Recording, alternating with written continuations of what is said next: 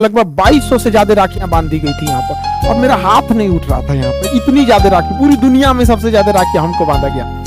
और राखी बांधने के बाद ना शाम जब हुआ, चार बजे के आसपास तो ऐसा फील होने लगा जैसे मेरे इस हाथ से मतलब सेंस खत्म हो रहा था। तो ये हाथ उठाना पड़ा था मतलब उंगली नहीं मुड़ रही थी इससे यहाँ पे तब हमको लगा कि क्या हो गया तो ब्लड सर्कुलेशन रुक गया था, इतनी ज़्यादा राखी होने की वजह से एक आदमी मेरा हाथ लेके चल रहा था तो शाम शाम तक हो गया कि डॉक्टर के पास जाना पड़ गया।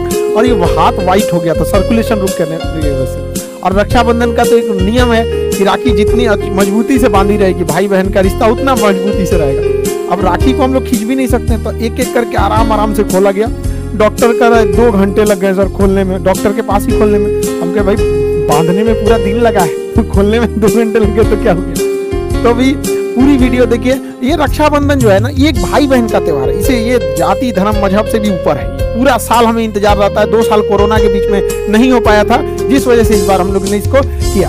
आप लोग भी देखिए पूरा वीडियो और इसमें किस तरह से हम लोग ने खाना पीना बनाया, क्या, किस तरह से लड़कियाँ राखी बांधी। तो मतलब हम लोग को अपनी कल्चर को भी पूरे वर्ल्ड में दिखाना है कि देखो भाई, हमारे यहाँ भी ये कितना बेहतरीन त्यौहार मनाया जाता है। लगभग 93 आइटम्स थे खाने के लिए। सारी चीज़ को मैनेजमेंट हम लोग लगभग जुलाई से ही हम लोग इसको कर रहे थे। और हर लड़की को इंतज़ार रहता है यहाँ पे भी कि मतलब हम, खान सर के यहाँ पढ़ रहे हैं तो राखी बांधने ज़रूर जाएँगे। पूरा वीडियो देखिए आप लोग।